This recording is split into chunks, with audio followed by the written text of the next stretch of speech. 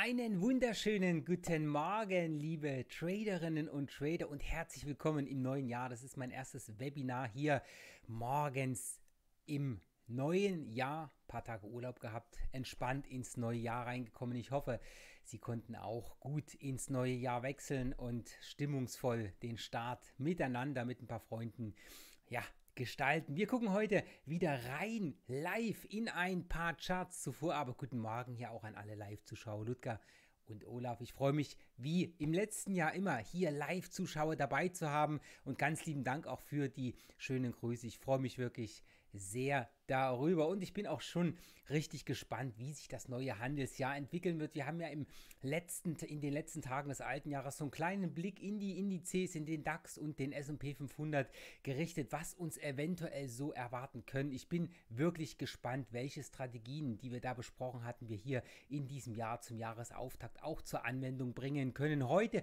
geht es um den DAX, Euro, britischer Pfund und US-Dollar, Kann-Dollar. Das sind die Währungspaare bzw. der Index, den ich für heute ähm, ja, vorbereitet habe. Christian, auch guten Morgen. Elena, freue mich, dich auch hier wieder live dabei zu haben. Die Zeit ist bei dir immer knapp, das weiß ich. Ich freue mich über jeden, der hier morgens die Ruhe findet, ein paar Minuten in die Märkte reinzuschauen und das Ganze für die Handelsbereitung zu nutzen. Was für die Handelsvorbereitung wichtig ist, ist natürlich wie immer der Risikohinweis hier an dieser Stelle. Der Handel mit Devisen und CFDs auf Margin, der kann zu Verlusten führen. Ich bitte Sie, diesen Risikohinweis entsprechend auch zur Kenntnis zu nehmen. Wir starten heute allerdings ein klein wenig anders, als wir das in den letzten Webinaren immer gemacht haben. Nämlich, da haben wir ja mit der Tagesvorschau für die Nachrichten gestartet. Aber wir starten jetzt mal mit dem Wochenausblick, weil wir haben ja aufgrund der verkürzten Handelswoche letzte Woche ähm, keinen Wochenausblick über die Nachrichtenseite hier an dieser Stelle auch gehabt. Von der Seite her geht es gleich mal mit der Planung für diese Woche weiter. Hier die wichtigsten Nachrichten für Sie vorab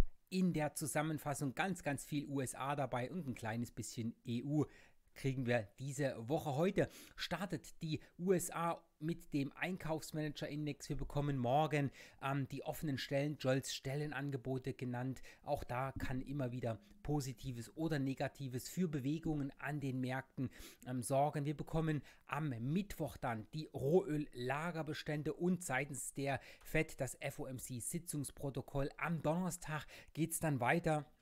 Die EZB veröffentlicht den Bericht des geldpolitischen Treffens aus den USA bekommen wir im Tagesverlauf die Verkäufe neuer Häuser und der Herr Paul wird sprechen und am Freitag gibt es als wichtigste Nachricht aus den USA den Verbraucherpreisindex. Also hier auch wieder Thema Inflation, einen hohen Stellenwert für den Freitag. Das an dieser Stelle der Ausblick für die wichtigsten Nachrichten. Und damit kommen wir gleich mal zum heutigen Tage nämlich die Tagesnachrichten. Um 8 Uhr haben wir aus Deutschland zwei wichtige Informationen bekommen und zwar den Auftragseingang der Industrie für den November und die Einzelhandelsumsätze. Und da schaue ich gleich mal in die Zahlen rein live. Die sind ja nämlich schon durch. Wir haben bekommen, ich schaue gerade mal auf den vierten Monitor. Deswegen geht der Blick gerade hier nach oben. Und da haben wir die Auftragseingänge der Industrie. Ähm, wir hatten ja die Prognose bei minus 0,2 Prozent. Es war ein Minus von einem Prozent. Also hier deutlich schlechter als erwartet. Positive Überraschungen allerdings gab es bei den Einzelhandelsumsätzen. Die liegen nach den Erwartungen von einem Plus von 0,4 deutlich drüber. Nämlich wir hatten hier im November ein Zuwachs von 1,4 Prozent. Das ist ein deutlich positives Zeichen, weil die Erwartungen sind doch hier deutlich übertroffen worden. Was gibt es noch? Wir bekommen dann das Thema Einzelhandelsumsätze aus der EU noch einmal um 11 Uhr. Um 16 Uhr gibt es dann aus den USA einige Nachrichten und zwar zivile Investitionsgüter. Wir bekommen den Auftragseingang für den November. Wir bekommen hier, wie das gerade avisiert wurde, den ISM Einkaufsmanager Index und äh, dann heute um 18.40 Uhr eine Rede von FOMC-Mitglied Bostic. Das für die wichtigsten Nachrichten des heutigen Tages. Und wie schon gesagt, wenn jemand Fragen hat, einen Chart analysiert haben möchte, bitte direkt hier in die Chats entsprechend eingeben auf GoToWebinar oder auch hier direkt in Facebook. Auf beiden Seiten haben wir ja Zuschauer, die uns hier morgendlich immer über die Schultern schauen. Kommen wir dann, würde ich sagen, direkt zu den Charts. Ich hatte es ja avisiert auch, wir machen Euro, ähm, britisches Pfund, US-Dollar, Kann-Dollar und den DAX heute Morgen. Hier habe ich gerade im Chart drinnen den, das Währungspaar US-Dollar, kann-Dollar. Deswegen schauen wir hier gleich einmal drauf, was das Währungspaar hier an dieser Stelle auch mitmacht. Hier sehen wir mal in groß eingezeichnet hier diesen großen, starken, übergeordneten Trend, wenn wir in die Woche mal schauen, das ist der Trend, der große Trend der Woche. Und diejenigen, die mir hier schon länger über die Schulter schauen, sie wissen das. Ich gucke gerne, was die untergeordneten Trends hier machen und deswegen zoome ich mal ganz kurz rein. Das, was hier eingezeichnet ist, diese Linien, das ist sozusagen der Bewegungstrend der Woche, also dieser Bewegungsarm hier. Und das sehen wir sehr, sehr schön im Tageschart dann entsprechend auch abgebildet. Deswegen haben wir hier gerade dieses Gebilde gesehen, diese dicken Linien hier, diese etwas hellgrüneren und dann die dunkelgrünen Linien. Da haben wir schön den aufwärts laufenden Markt. Der ist auch schon mittlerweile etwas in die Tage gekommen. Wir haben hier einen Trend der entsprechend viele, viele Bewegungsarme auch schon gehabt hat. Hier der letzte sehr, sehr weit nach oben auch gelaufen. Und hier haben wir jetzt die Korrektur. Ich muss nur dieses Muster mal etwas hier nach drüben ziehen, damit wir das Ganze besser sehen können. Also hier sehen wir einen sehr, sehr steil nach unten laufenden Trend. Den sehen wir auch in der Stunde. Und hier stellt sich nun die Frage, was können wir denn daraus machen? Zwei Dinge können wir daraus machen. Zum einen blicken wir natürlich immer auch in den übergeordneten Schub der Woche. Da ist der Markt ja aufwärts gerichtet. Er kann aber auch deutlich ähm, tiefer korrigieren.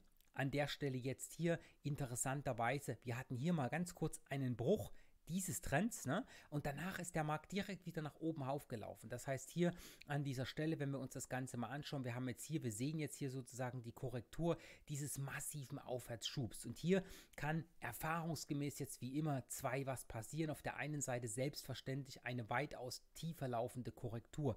Heißt also, wir haben ja hier die Bewegung, die Korrektur kann laufen ohne Probleme aus rein trendtechnischer Sicht hier bis in den Bereich dieses Korrekturtiefs, also dieses letzten Tiefs hier unten rein, um die Marke von 1,32,536. Das ist problemlos möglich, ohne jetzt diesen letzten Schub hier kaputt zu machen. Heißt also, Korrektur kann ohne weiteres nach unten weiterlaufen.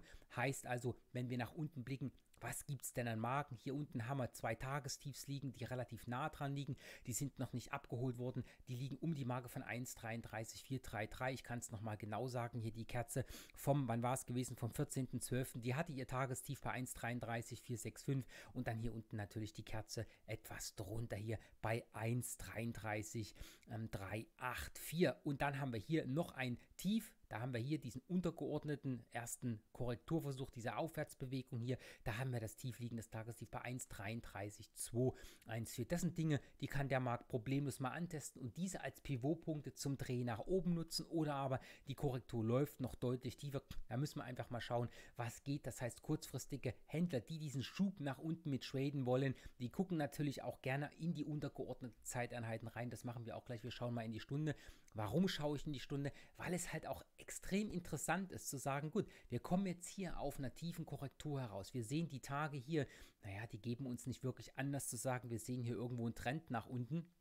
Das heißt, wir gucken hier in die kleinere Zeiteinheit rein und dort sehen wir die Umkehr. Das heißt, wenn der Markt hier wieder rumdreht, dann sehen wir die Umkehr der Nachfrage und dann haben wir die Chance, nach oben ranzulaufen. Und bei, bei so tiefen Korrekturen, die von unten heraus kommen, bei so einem starken Schub nach unten, gibt es halt in der Regel oft irgendwann eine Korrektur. Wann die einsetzt, müssen wir uns einfach vom Markt auch zeigen lassen. Aber die Chance ist hier da, dass der Markt rumdreht und doch ein gutes Stück wieder Richtung nach oben läuft. Ob es dann oben drüber hinaus weitergeht oder ob das nur eine Korrektur dieser Bewegung ist und dann nach unten geht, das kann uns an dieser Stelle noch relativ egal sein, weil wenn wir ein Stück nach oben mittraden, dann können wir das natürlich früh und zeitig angehen, wenn die Umkehr kommt. Und wie wir das sehen können, das schauen wir hier gleich mal in die Stunde hinein. Und da sehen wir den Abwärtstrend der Stunde hier. Jetzt muss ich das mal ganz etwas kleiner rücken. Hier sehen wir natürlich diesen schönen Kursaufschwung, den wir hier gehabt haben. Hier oben diese starke Top-Bildung um die Marke von 1,36,646, da war die Luft oben raus, da hat man das gesehen. Der Markt hat hier nochmal ein paar Mal versucht, oben ranzulaufen, ist aber dann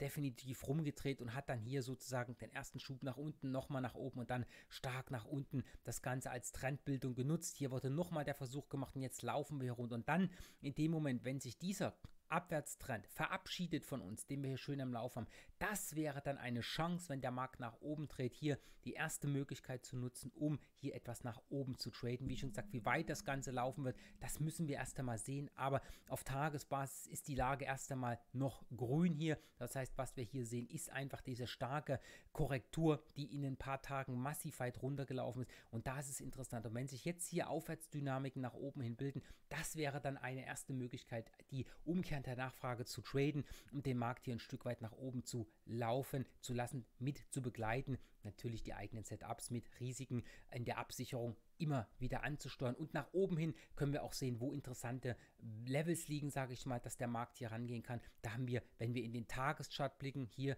natürlich die entsprechenden Tageshochs liegen, also hier die Tageskerzen, entsprechend die Hochs mit avisieren. Oder aber, wenn wir hier einfach in die Stunde ranblicken, dann suchen wir uns einfach markante ähm, Punkte, wo der Markt entsprechend hier Levels hatte, wo er mal rangelaufen ist und dann wieder nach unten gelaufen ist. Das heißt, die Korrektur hochs an diesen Stellen, das sind dann interessante Anlaufpunkte hin zur Oberseite, ist hier in diesen starken Bereichen natürlich gar nicht so einfach machbar. Aber für kurzfristig agierende Trader, die wissen, was hier an dieser Stelle zu tun ist, die entsprechenden Zeiteinheiten zu nutzen. Das heißt, da hilft manchmal auch der Blick entsprechend in die noch kleinere Zeiteinheit, in die fünf Minuten, wenn wir dann hier Stück für Stück nach oben laufen. Das haben wir noch nicht. Wir haben hier noch keinen Hochlauf. Aktuell haben wir hier sowas wie eine Art Bodenbildung hier in diesem Bereich. Da müssen wir erstmal schauen, was kommt. Aber wenn so eine Bodenbildung wirklich abgeschlossen ist, hier unten sehen wir ja um diese Marke, ich kann das ganz kurz mal anklinken hier oder angliedern. Hier unten haben wir den Boden. Was ist da ungefähr? 1,3355 da wollte der Markt aktuell nicht runter. Und wenn wir hier dann Aufwärtsdynamik bekommen, das könnte dann ein erstes Zeichen für eine kurzfristige, ähm, ja, sage ich mal, Wiederaufnahme der Bewegung nach oben hin versteigende Kurse sein. Und wenn daraus was Nachhaltiges wird, dann könnte es durchaus sein, dass wir hier im Tageschart wieder hochlaufen Richtung dieses Trendhochs bei 1,36,646 bleibt spannend auf alle Fälle. Ein Markt, wo man auf alle Fälle mal hinschauen kann. Gut, schauen wir in den nächsten Markt rein Euro, britisches Pfund, unser Nachbar hier. Da ist ja auch immer viel Politik mit im Spiel, aber wir lassen die Politik heute mal außen vor und schauen uns hier einfach mal den entsprechenden Chart an. Und im Chart sehen wir hier eine Situation, wo wir hier oben einen Deckel drauf haben, die Marke von ungefähr 0,909. Ähm, hier oben, da ist ein roter Balken eingezeichnet. Das ist ein Widerstandsbereich. Wir sehen es hier an dieser Stelle. Der Markt ist hier mehrmals oben reingelaufen und hat einfach nicht die Kraft gefunden, ähm, oben drüber zu steigen. Das heißt, da ist der Verkaufdruck einfach viel, viel, viel zu hoch. Das ist der Oberseite, der Deckel oben drauf. Und jetzt haben wir hier unten noch diese Marke von 0,89400 dieser grobe Bereich. Das ist auch ein Bereich, der kann unter Umständen viel Beachtung bekommen. Warum? Einmal hier war das Level des Trendbruchs, hier oben um diesen Bereich, hier, wo der rote Zacken aus dem Korrekturhoch ist. Hier haben wir dann entsprechend auch in diesem Bereich die Entstehung dieses Aufwärtstrends gehabt. Und jetzt wird es an dieser Lage halt sehr, sehr spannend, was hier passiert. Wir sind ja schon mal ganz kurz hier oben drüber gelupft, ähm, rein technisch sozusagen über dieses Korrekturhoch drüber, das heißt Bewegungs- bzw. Korrekturtief. Hier hat man das hoch, dann lief es wieder direkt runter. Hier oben blieb halt wieder die Schwäche im Markt oder kam die Schwäche in den Markt zurück, dass sich keine neuen Käufer gefunden haben. Das ist jetzt etwas, was wir im Chart einfach sehen. Die Frage, die sich jetzt stellt, ist, was passiert hier? Zwei Dinge. Entweder wir prallen hier von dieser Marke ab. Das heißt, hier haben wir auch eine gewisse Trading Range hier unten mit dem grünen und dem roten Balken. Das macht natürlich gut für kurzfristig agierende Trader, einfach mal das Thema Range Trading mit zu benutzen und zwar keinen Ausbruch hier, sondern innerhalb der Trading Range aktiv zu werden, weil da ist ja auch genügend Platz in den kleinen Zeiteinheiten, lässt sich das sehr, sehr schön umsetzen, entsprechend dieser Marke. Das heißt, wenn wir hier drinnen bleiben, dann das Ganze natürlich hier momentan von der Verortung her an einem interessanten Punkt, nämlich auf der Unterseite und die Chance zur zur Oberseite zu laufen, ist ja auf alle Fälle da. Hält das Ganze nicht, bricht der Markt hier unten drunter durch, dann läuft das Ganze halt weitaus tiefer. Nächster Anlaufpunkt dann hier unten um diesen Bereich hier, wo der Markt auch schon immer mal reingepiekst ist hier über den Daumen 0,888. Das ist die Marke hier unten. Da könnte der Markt dann als nächstes reinlaufen, wenn wir unten drunter gelaufen sind, unter diesem oberen grünen Bereich. Weitere Level liegen dann natürlich hier um das Tief hier unten. Was haben wir hier liegen? Ich lege es kurz als Marke noch mit dran, dass das jeder im Nachgang auch besser sehen kann. Das heißt, das ist der Kursbereich von ungefähr 0,88, 125. Das Tief hier, das Korrekturtief, ist natürlich gut und gerne auch noch mit anzulaufen. Ein Punkt, der mit Maß Maßgabe auch zu nehmen ist. Mittelfristig, wenn wir uns das Ganze mal auf Wochenbasis angehen oder anschauen, haben wir hier unten dann natürlich noch einen Bereich, da lege ich auch gleich mal eine Linie dran. Hier unten, so dieser Bereich hier, Sie sehen es, 0,86 hier, da ist der Markt schon öfter mal rangelaufen. 0,86,548 hier das Tief, wo ich es gerade rangelegt habe. Das wäre dann natürlich auch noch interessant zu sehen, wie es hier entsprechend nach unten weitergeht. Auf Wochenbasis haben wir halt eine Kerze. Sie sehen es halt selbst. Ich zoome das mal ganz kurz rein. Im Wochenchart haben wir eine deutliche Umkehrkerze. Und wenn diese Umkehrkerze auf Wochenbasis auch noch eine Bestätigung findet, dann haben wir hier natürlich auch die Maßgabe offen nach unten zu schauen, dann ist es legitim, sich mal die tieferen Kursniveaus anzuschauen. Und da haben wir halt hier Wochentiefs liegen. Hier unten haben wir auch das Tief liegen, was ich gesagt habe. Und dann, wie schon gesagt, hier unten diesen Bereich von 0,86548. Das als Anlaufpunkt zur Unterseite hin, wenn wir uns das Ganze mal anschauen. Und da haben wir dann einen Bereich, wo der Markt auch schon öfter mal reingelaufen ist. Das Ganze kann man auch noch etwas höher ziehen. Hoppala, das war das falsche Zeichen, was ich haben wollte. Aber egal, nehmen wir das, zeichnen wir hiermit. Hier unten haben wir auch nochmal einen Bereich, da ist der Markt schon sehr, sehr oft rangelaufen gelaufen. Das ist die Marke von knapp 0,87. Hier, da ist der Markt rangepikst und wieder hochgelaufen. Also wir haben nach unten in einige Marken liegen, die sehr, sehr interessant sein können, wo der Markt noch Luft hat,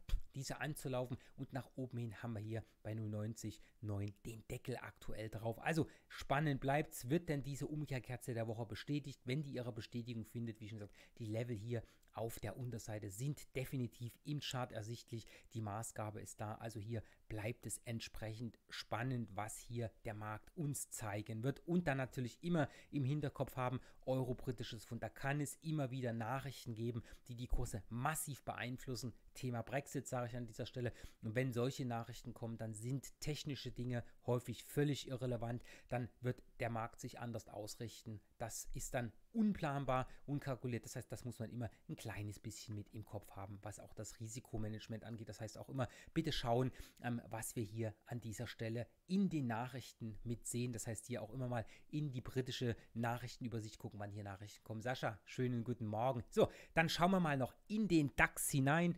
Wieder hier unseren Heimatindex mal wieder auf der Uhr zu haben. Hier haben wir ja einiges an Volatilitäten gesehen. Wir haben ja, ähm, ja kurz vor Jahreswechsel auch noch einen wahnsinnigen Schub bei den US-Indizes gesehen.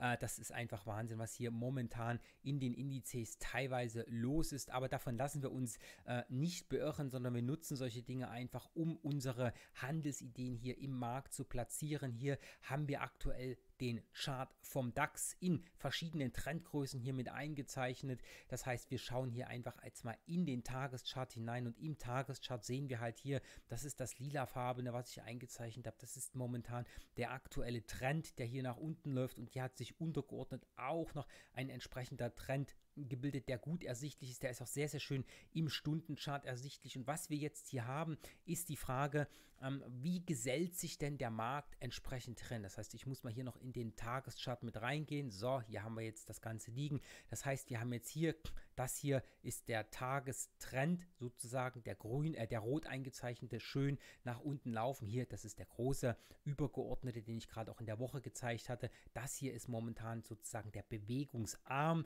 ähm, des Wochentrends. Und hier sehen wir momentan auch diesen massiven Schub hier. Der Tag am Freitag, der hat ja untergeordnet zur Bildung eines Aufwärtstrends gedient. Und jetzt wird es sehr, sehr spannend, was passiert hier. Wir sehen es, wir sind ja hier vor Handelseröffnung schon ein ganzes Stückchen weiter mit nach oben gelaufen. Wir haben hier diese Tageshochs, die hier noch leicht davon lagen, rausgenommen. Jetzt liegt hier noch das Tageshoch von wann, wann haben wir das gehabt? Das war vom 17.12. Marke hier um die 10.917 Punkte. Das haben wir noch vor uns und dann haben wir hier dieses Korrekturtief, dieses Abwärtstrends. Und hier stellt sich natürlich nun die große Frage, was sehen wir hier? Ne? Wir haben ja jetzt hier erst einmal untergeordnet diesen schönen Schub nach oben gesehen. Übergeordnet haben wir hier auf Tagesbasis den Abwärtstrend und natürlich auch auf Wochenbasis den Abwärtstrend. Und die Frage, die sich hier jetzt stellt, ist, wie geht es hier weiter? Das wird uns der Markt beantworten.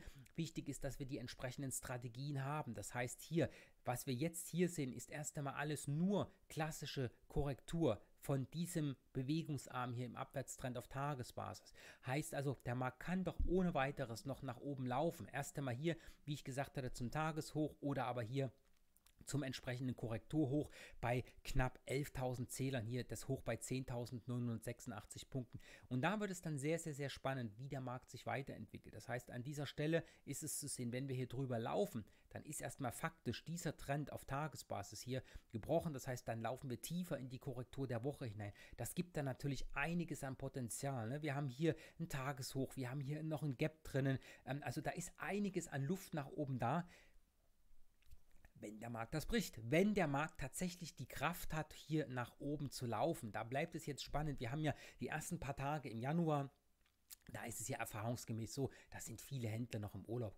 Wir hatten hier bloß ein paar Handelstage. Wir hatten den 1. Januar, da war frei, dann hatten wir den 2., ähm, 3., 4. Das sind alles entsprechend Tage gewesen, wo der Handel ähm, doch so gelaufen ist, dass die Großen, die Big Boys einfach noch nicht wieder am Platz war, weil noch Urlaubsmodus war. Jetzt wird es spannend, wie der Markt weitergeht. Das heißt, was macht der Markt denn, wenn das große Geld zurück in den, in den, in den Handelsraum sozusagen kommt? Wie positionieren sich die Händler für die aktuellen Gelegenheiten oder Geschehnisse, die wir hier momentan haben? Und das bleibt dann spannend zu sehen. Und das können wir uns übrigens, ich habe es ja hier auch eingekreuzt oder angezeigt, entsprechend im Stundenchart auch mit anschauen. Wenn wir hier mal in die Stunde hineinschauen wollen, dann haben wir hier natürlich jetzt aktuell eine Situation, wo wir einen Markt haben, der stark nach oben gelaufen ist. Das heißt, wir haben jetzt hier eine massive Bewegung auf der Stundenbasis nach oben gehabt und diese läuft jetzt hier in so einer Seitwärtskorrektur auf relativ hohem Level ab. Und hier werden wir dann sehen, wie sich der Markt weiter ähm, sozusagen aufbaut, beziehungsweise wie er seine Verhaltensweise ausbaut. Das heißt, wenn wir hier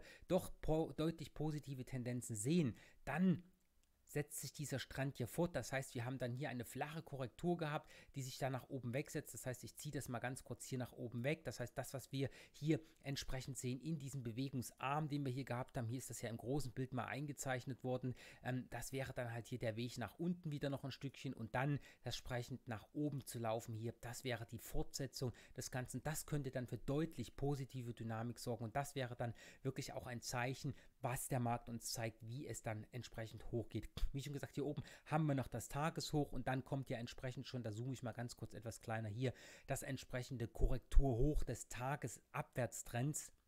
Und wenn es hier oben drüber geht, dann haben wir doch durchaus das Potenzial, deutlich weiter nach oben zu laufen. Wir haben ja in solchen Bärenmärkten oder Abwärtstrends auch immer wieder die Situation, dass wir weitere Steigerungen sehen, wo auch mal einfach die Woche korrigiert wird, die weit Ablauf, abwärts gerichtete Woche. Und da sehen wir häufig Trendbrüche auch auf Tagesbasis. Und das könnte hier dann unter Umständen dazu führen, dass wir doch etwas starke Gegenbewegung sehen. Müssen wir einfach abwarten, was hier dann kommt. Wenn Schwäche reinkommt, wie schon gesagt hier oben, dann muss man das immer auch auch als Achtungszeichen mit betrachten. Achtungszeichen aus dem Grund, weil wir handeln ja momentan, wenn wir hier die Long-Richtung traden, gegen den übergeordneten Trend. Und wenn wir hier eine tiefe Korrektur haben, dann kann das passieren, was in Trends sehr, sehr häufig passiert. Wir laufen tief rein. Hier oben kommt dann plötzlich wieder Schwäche rein. Der Markt dreht nach unten weg und dann zack, geht es hier nach unten, dann wird der Aufwärtstrend wieder gebrochen und das ist dann interessant zu sehen, was dann passiert, nämlich dann haben wir wieder alle Chancen offen, dass sich dieser Abwärtstrend fortsetzt und dann liegen die Potenziale eher auf der unteren Seite. Das haben wir ja auch Ende Dezember miteinander besprochen. Anlaufmarken wären dann hier wieder dieser Bereich zwischen 10.500 und 10.300 Punkten und dann hatten wir hier mittendrin bei ungefähr 10.400 Punkten es ist manchmal komisch, wie so eine runden Marken zusammenkommen. Ne? Immer wieder das gleiche Spiel. Psychologie, psychologisch wichtige Marken. Hier haben wir den Punkt um die 10.400. Da haben wir schon immer mal wieder Anlaufpunkte gesehen, wo der Markt einfach keine weitere Schwäche gezeigt hat, sondern nach oben abgesprungen ist. Das ist hier eine sehr, sehr wichtige Marke, die dann interessant ist. Die wird dann allerdings erst wieder in den Blick richten, wenn wir hier nach unten laufen. Das heißt, wenn dieser Aufwärtstrend doch nicht hier oben rüber weiterläuft und wir die Unterseite sehen. Also das bleibt von der Seite her sehr, sehr interessant entsprechend mitzusehen. Das also zu den heutigen Handelsideen. Jetzt schaue ich nochmal kurz in die Chats hinein. Fragen sehe ich gerade keine. Das heißt, an dieser Stelle möchte ich wieder sagen, danke für Ihre Zeit hier an dieser Stelle. Wir hören, lesen und sehen morgen wieder ähm, voneinander im Blog-Eintrag und um 8.30 Uhr dann hier wieder im Live, in der Live-Besprechung, im Live-Webinar sozusagen um 8.30 Uhr auf Tickmill und für alle anderen, die das Ganze im Nachgang schauen, natürlich direkt wieder auf unserem YouTube-Kanal oder entsprechend auf der Facebook-Seite von Tickmill. Allen einen schönen Handelstag und bis morgen. Tschüss.